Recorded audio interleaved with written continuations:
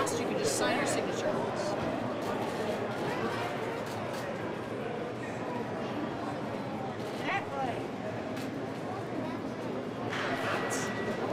Look up, guys. For a picture. Look up this. Come this way. All right. So if everyone looks over, I think you might